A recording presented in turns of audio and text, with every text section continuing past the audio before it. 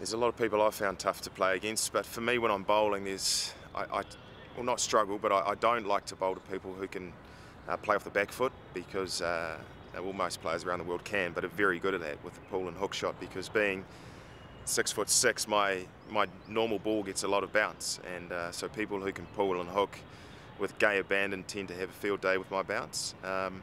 and when I'm, I suppose, like a lot of players around the world, you struggle against out and out pace, genuine pace. Thankfully, there's not not a lot of that around the world, and also people who spin the ball a long way. But uh, as I said, most people are going to say that.